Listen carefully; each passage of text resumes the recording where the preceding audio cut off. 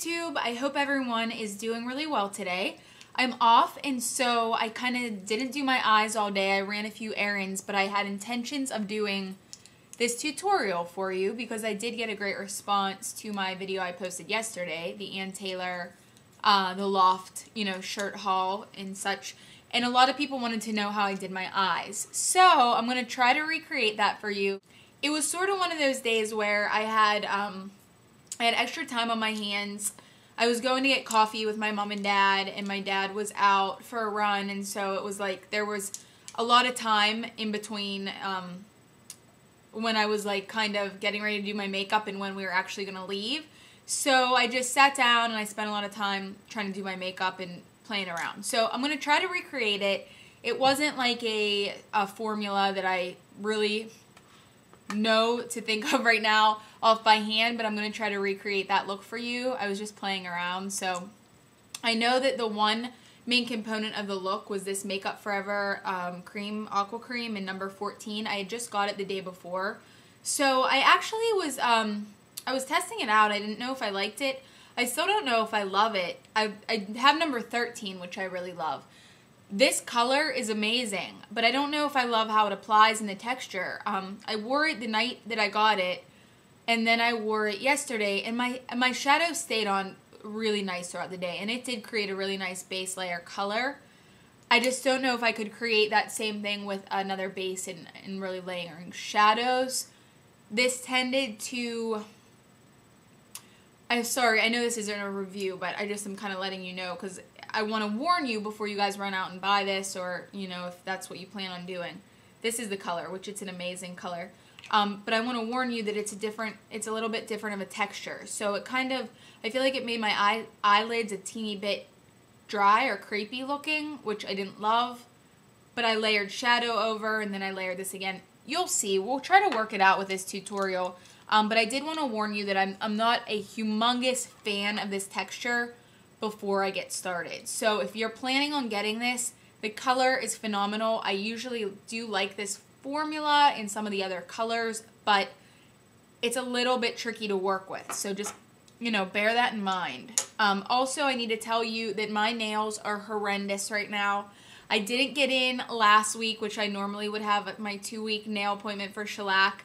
Um, I didn't get in last Monday. It was a crazy, crazy weekend last weekend crazy week and then I couldn't get in today. So my appointment's tomorrow. Since then, since like all this time's gone by, I started peeling the shellac off my nails, which is horrible. It soaks off. You should never peel it off, but I did. And so I just, I need to tell you that beforehand. Some of it's still on, some of it's peeled off. My nails look a mess and um, I don't know why I did it, just like nervous habit, I guess. But that's mainly why I get shellac, so I don't fuss with my nails and the way my nails and the way I feel today about my hands is just a reminder that it's totally worth the money for me to get my nails done as often as I do because it's just a huge pet peeve of mine. Cheap nail polish is a huge pet peeve of mine. Okay, so we're going to get started and I'm going to lay down a base first. And what I um, did yesterday, I think in the day before, was Layin Low paint pot. It's kind of what I, I go to, my go-to neutral paint pot. Um, trying to think. You could do a painterly, you could do a soft ochre. It doesn't really matter. I think that even though the aqua cream is a cream base, I still like to have a paint pot base down just because, you know, I love paint pots and it makes this a little less apt to crease, although I didn't notice any creasing, which is a good thing. So, like I said, after I laid that base down, um, the next thing I used with this, this Makeup Forever Aqua Cream in 14. And so here's the color. And this is a color that's just awesome, awesome, awesome with blue eyes. See, even when I swatch it on my skin, it's pretty awesome. But it, the texture is just, it dries really quickly, so it's hard to maneuver around. I like to use my finger, um, but I did use this brush yesterday, and this is just a cheapy e.l.f. brush. I'll show you the brushes real fast that I'll be using. I'm using this e.l.f. brush, cheapo from Target. Um, two MAC brushes in 217, which are dirty, but whatever. I always tell you guys don't worry about spending a fortune on brushes because I think that you can get good results with budget brushes. But 217s for MAC are awesome. You can never have enough of those. So what I'm going to do, um, what I did yesterday is I'm just going to dab this brush in. I like the stiffness of this brush. Um, ideally, you'd want a synthetic brush to use with cream products. And I'm just going to lightly spread this on my eyelid. I didn't go any higher than the crease. I kind of went right below the crease um, and placed this product. And you don't want to do a real um, a real heavy layer at first. You kind of want to build it up just because, like I said, this is a little harder to work, work with, this product.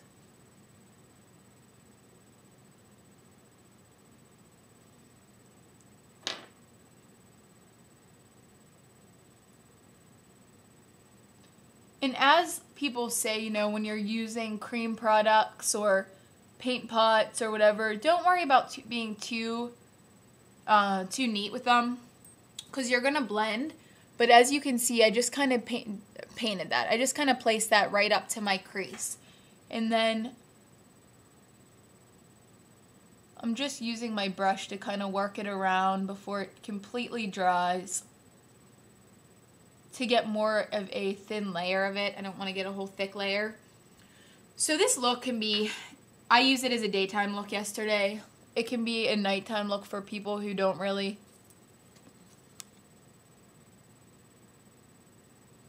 like to wear a whole lot of dark colors during the day.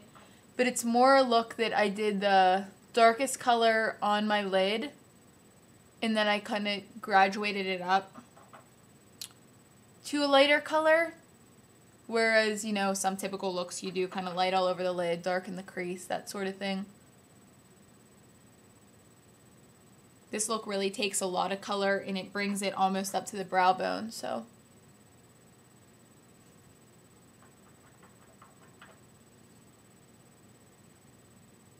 I just feel like even though these are aqua creams, they're not real creamy and they're not real blendable.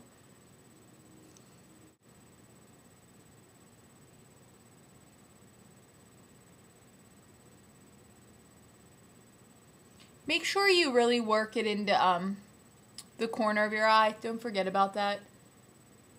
Sometimes it's hard to get in there with a brush, but it helps to look down and like in the opposite direction.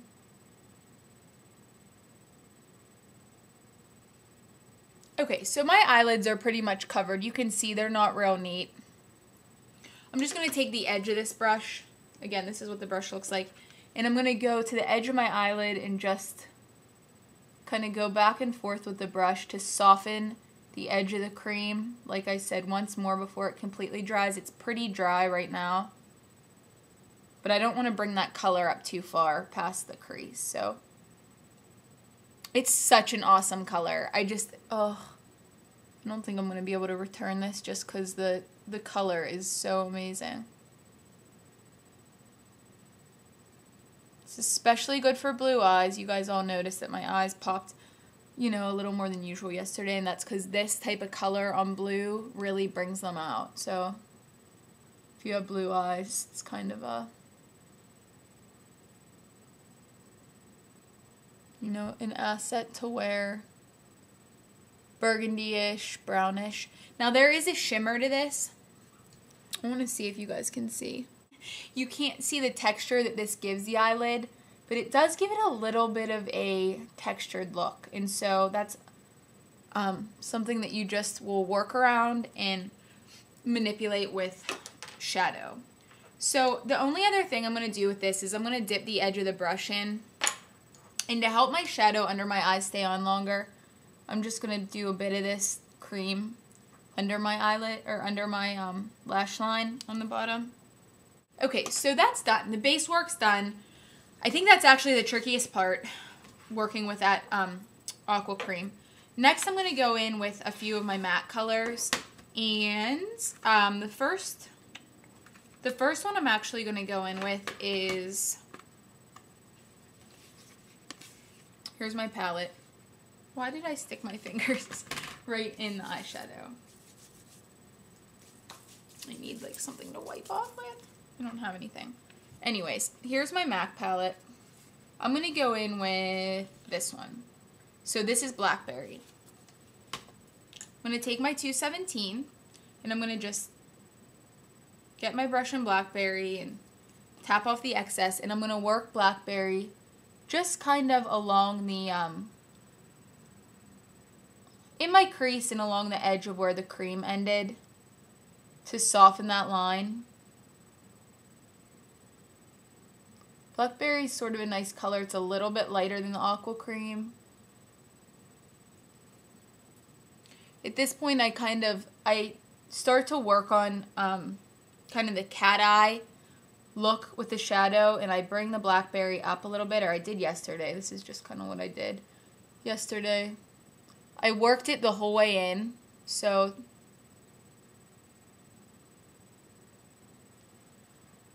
and that's kind of how it looks after you do the blackberry. So I'm going to do the blackberry on this other eye. Okay, this is what it looks like. Um, what next? I'm going to go back in with this brush and I'm going to use, trying to see here, I'm going to use some of Embark and I'm going to use a bit of Shadowy Lady. And I'm just going to, you know, tap some Embark, some Shadowy Lady. I go back and forth between the two. Tap off the excess and then I just am placing that on top of the cream shadow. Another uh, thing about this cream shadow is I feel like it sort of patches in places on my eyelid. So that's one thing I'm not a huge fan of, but I'm intensifying the color of it with the Embark and the Shadowy Lady kind of mixed together. And I'm not bringing that up past the crease. I'm just putting that over where the cream shadow was.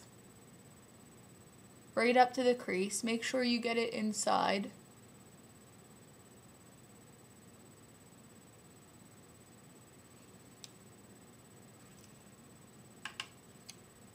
There we go. And then I'm going to go back in one more time with Blackberry and blend.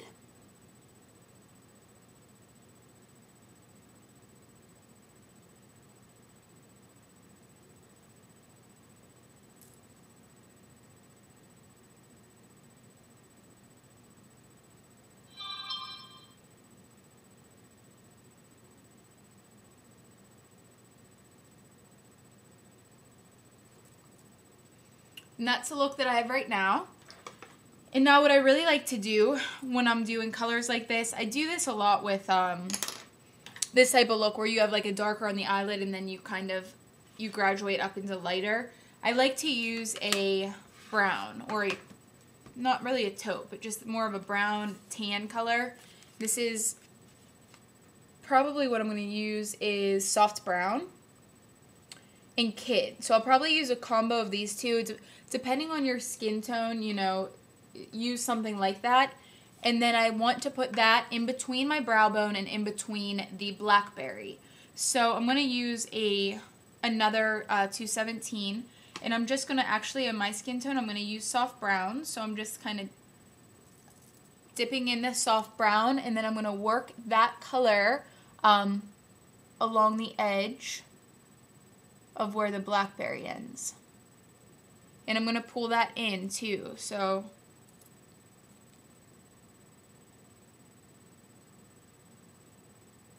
I'm not going to be too picky about like getting it right on the edge of the blackberry. I like uh, sort of a gradient look, so I'm going to actually mix it with some of the blackberry as well.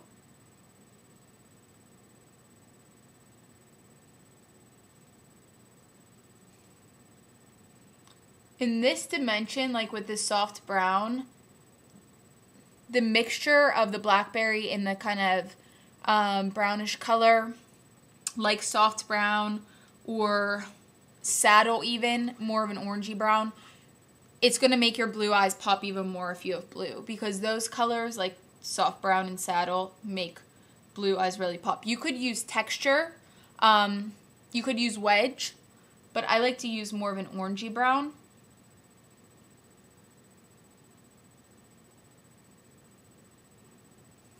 And that's kind of the look that you get.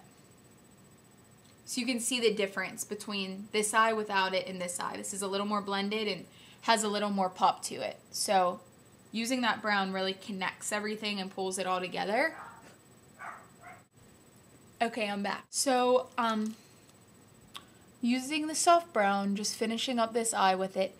If you don't have any of these MAC shadows like the soft brown or kid or saddle or texture or wedge, you can always use a bronzer. So that's another trick that I do sometimes for a blending color or a gradient color between my eyelid and my crease color in my eyebrow. Sometimes I just end up using a little darker contour or bronzer color. So that's always an option, you know, if you don't have some of these colors. You know, work with what you have. You can always use even like a darker, um,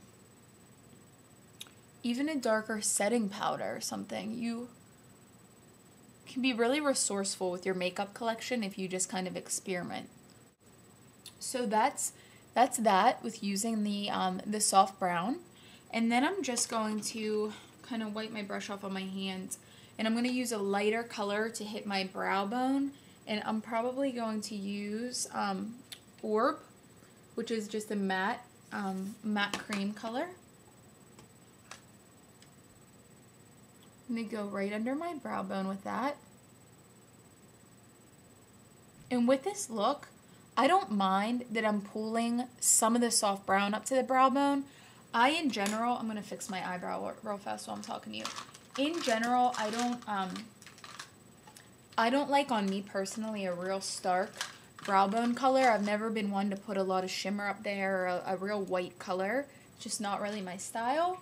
Um, other people, I'm not saying it doesn't look good. It, it does. It's a different kind of look, but I always do, I'm just fixing my eyebrow because it kind of rubbed off. Um, I always do more of a matte color. But anyways, I do a matte look, you know, under my brow bone. And I don't mind with this type of like darker eye look, I don't mind pulling the color up a little bit into the brow bone.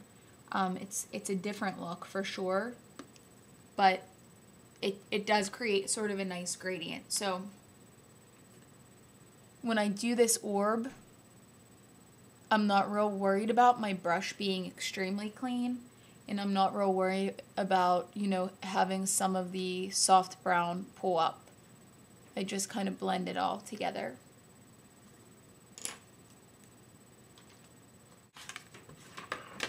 I'm just going to go in once more with the uh, with Shadowy Lady, which is a dark color.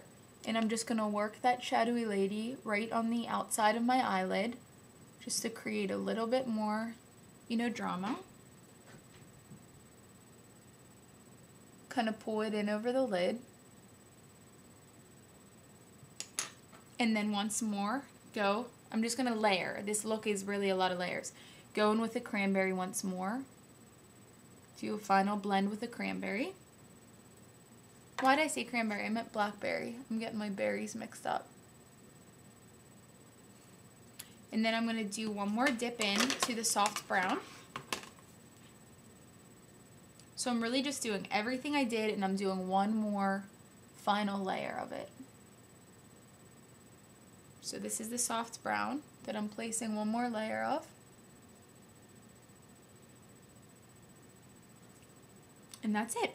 So now I'm just going to add a few more things, final touches. Um, I'm going to take a fluffy brush and I'm going to dip in to, I'm going to dip into Embark and Blackberry. I'm going to dab into both of those, tap it off, and I'm going to just kind of messily place this underneath my eyes. I think this is just one more step that sort of makes the eyes pop. But you can skip that step if you just want to keep the color on top of your eyelids. So that's basically kind of what I did underneath.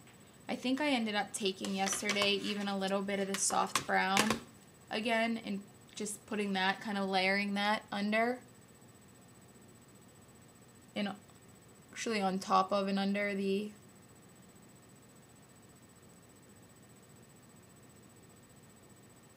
Sorry if I like have my mouth open when I'm doing this. Sort of a bad habit. So that's the soft brown. And then the last thing I did, which really is the um, final thing to, I'm seeing if I can find it. I know I brought it down. This is what really makes the, uh, the blue in the eyes pop but it is, here it is. This color is amazing. It's from NYX NYX and it's Fahrenheit. Lara Lollipop 26. She had um mentioned this on her blog a long time ago. I think a video and a blog. And it's a red, it's like a, a metallic red color. Not really red, like a reddish can't explain it. You'll just have to check it out if you're around any NYX Cosmetics or Ulta. But it's awesome. For blue eyes, I can't recommend it enough. So the last thing I did, which is kind of like the final trick to my look, um, was dipping in this Fahrenheit. Getting it on my brush. You can see how vibrant it is on the brush.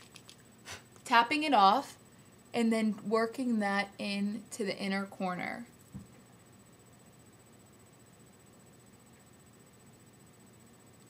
So this red, do you see how that really just even makes the look pop even more on the side that I added it to? And you don't want to go in too far. You just want to blend it enough that it's on the inner third of your eye.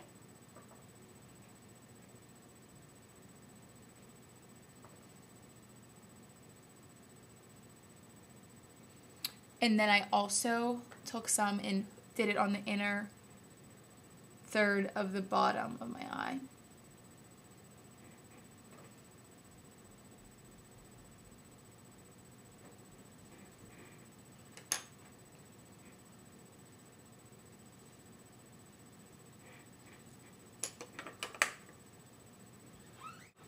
One more step that you could skip um, is using engraved or a color on your waterline. But I did use this yesterday. This is by MAC. It's just called engraved. It stays a lot better than like smolder or feline. But it's not as black, so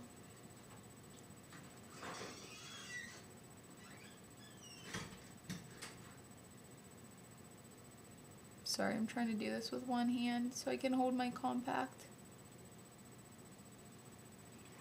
And adding that to the waterline creates a little more drama. So that's something you could skip also. Um, okay, the next thing, I'm going to take my Ultra Liner by Maybelline and I'm going to do my cat eye. You could just use smudged liner. I like to do the cat eye. It's just my personal preference. But you could do like a really smoky black or uh, plum or even a dark, dark brown smudge liner. When I do my cat eye, I don't go in the whole way. I only do like the outer two thirds of my eye. And before I hit um, the edge of my eyelid, I swoop it up. So I don't, that's like one trick that I do. I don't go to the very, I don't draw down to the corner and then go up. I start to bring it up before I hit the corner. So I never actually um, bring eyeliner down to the corner, the outer corner of my eyelid. So that's one little trick of mine to make your eyes look a little more catty and lifted, I guess.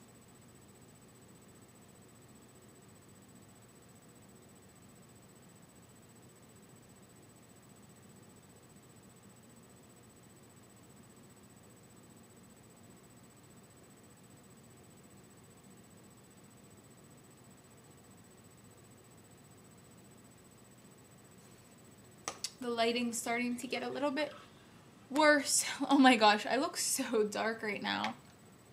Um, is this gonna help at all? I don't know if that helps. It's not really that the sun's going down, it's just like really cloudy outside. It's not even late, it's 4 o'clock. Um, but there's my cat eye.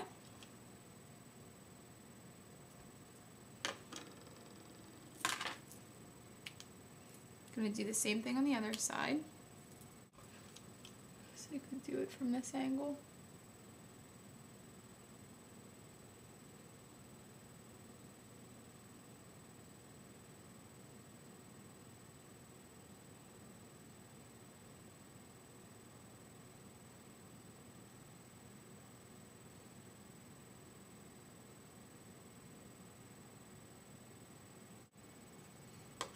Okay, and there's my liner. And last but not least, I'm going to put on my mascara, which is, of course, my favorite, L'Oreal Telescopic. Nice budget one. but great for a ton of length.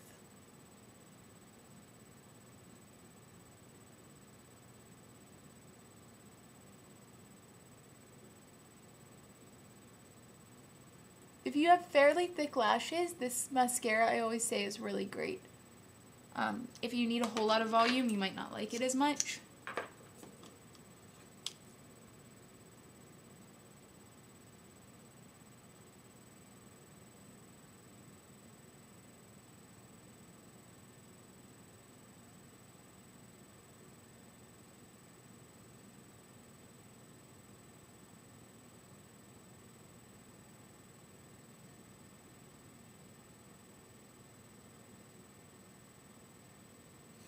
Lots and lots of mascara on.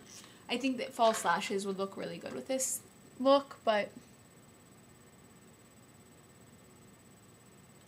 I just, sometimes the glue irritates my eyes.